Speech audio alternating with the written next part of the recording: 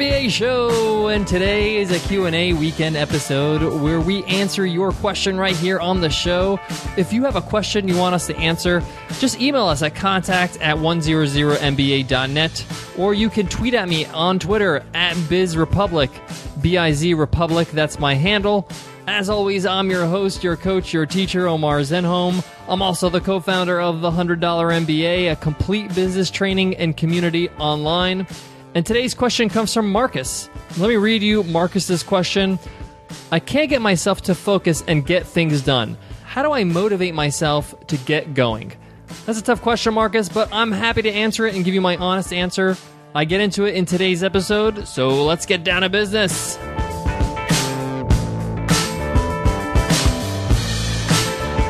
Today's episode of the $100 MBA show is sponsored by DaVinci Virtual Office Solutions.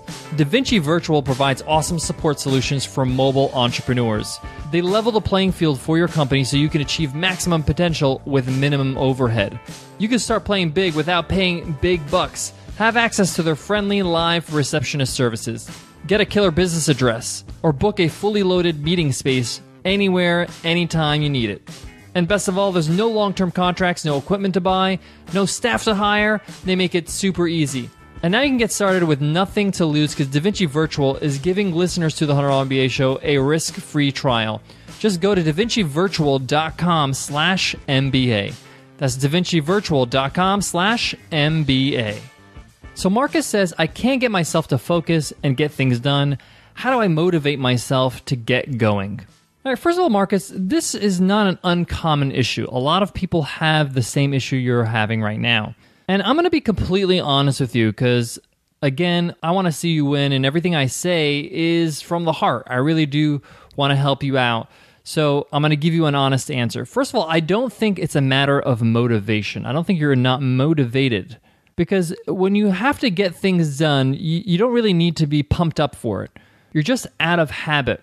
I'm actually reading a great book called The Power of Habit, and you really should check it out because it talks about how a lot of our actions are due to habits. They're not really due to uh, decisions that we make.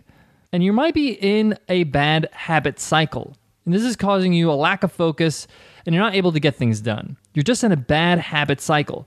And this could be the fact that you're on social media too much, maybe you're spending too much time on email, or maybe you're just not getting around to what you need to do. And my honest advice to you is you need to get serious with yourself. You need to sit down and list the things you want to get done, whatever that is, if that's creating a product or getting your website together or whatever it is. List the tasks, the specific tasks you have to do. So, for example, if you're trying to get your website together, a specific task is nailing your headline, your headline that's on your homepage. So, a specific task is not complete the homepage. There's so many aspects of the homepage. You need to get specific. So nail the homepage. Uh, write down the exact script or the exact uh, write up of your about page. Those are specific tasks and list them down. Once you have your task list, I would shut down every single distraction out there. Shut off your phone, shut off anything else on your browser. You know, if you're not designing your website uh, online, I would even cut your Wi Fi, cut your internet. I know that sounds extreme, but you're in an extreme situation now. You can't get things done, so you got to take extreme measures and cut off any pretext, meaning you have to cut off any possibility of you not getting the work done. At this point, you don't have the structure that you need. I don't want to say you don't have the discipline because you're just in a bad habit. So you need to get out of that bad habit by forming new habits. And don't make forming new habits difficult on yourself. Make it easy by cutting off all the distractions and then hit that task list one by one. Focus on each task, get it done, see it to completion, cross it off. Now, you might not get a whole lot of tasks done as you're getting started, but you'll get things done. You'll get two or three things done in a day, and that's enough for you to have some momentum. Now, when I talked about discipline, it's important for you to be disciplined about the consistency of this exercise. So the next day, cut off all distractions, get back to that list, and stop plowing through. If you put it in the context of forming new habits, you can understand how important it is to stay focused. For some people, you need to put a little pressure on yourself. Some of us, we don't do our best work or we don't do any work unless there is pressure. So, if you're launching your website, make it public on social media, let people know what your launch date is, and work towards that launch date. Make it public, hold yourself accountable. And know that you got to get those things on your task list done by that date. Don't be too liberal with that date. Don't say, oh, five months out, but don't have your deadline so close. Don't be too ambitious, like, I'm going to launch in three days. Set a date, make it public, be accountable, and strive to meeting that deadline and make sure that you do. And know that you're going to launch your website regardless of how finished you are. Commit to that. Commit that to yourself. Even if you only have the homepage done and there's no about page, you committed to launching, you got to do it. And that's going to push you to make sure that you get things done. But if your launch day comes and you don't launch, you back out on your promise, then all of this doesn't matter. You fall into that poor habit again. Remember, you're in control. You can change the way you do things.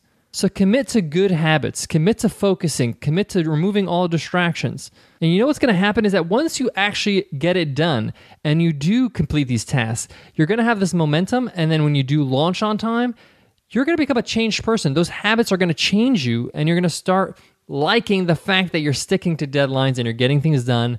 And it's going to motivate you to keep on doing that in other areas of your business and your life. Guys, I got more on this topic, but before that, I got to give love to today's sponsor, DaVinci Virtual. If you're a small business but want to be a big player in your market, then DaVinci Virtual is for you. DaVinci Office Solutions offers some big solutions for a very small price. Get your own team of friendly DaVinci receptionists to answer all your calls. Choose your killer business address from over a thousand iconic locations. Reserve day offices. You want to throw a meeting, you want to throw a meetup, you want to do an event you can reserve meeting spaces online via their app when you need it and where you need it, and you only pay for what you use. DaVinci helps entrepreneurs like you become something bigger.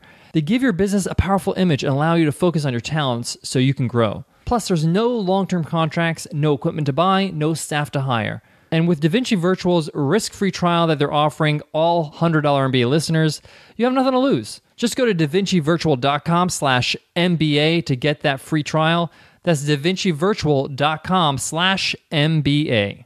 The last thing I want to say about this topic uh, if you're finding yourself having a difficult time doing the work, you may want to examine the work itself. Maybe it's not your passion. Maybe it's something that you don't really enjoy.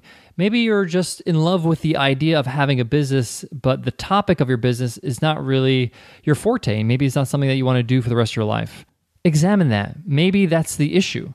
But if it isn't, then make sure you start forming some great habits when it comes to getting things done. I'm also going to include some resources in the show notes for today uh, that deal with productivity, that deals with focus. You could check that out at 100mba.net slash MBA245. That's the show notes for today.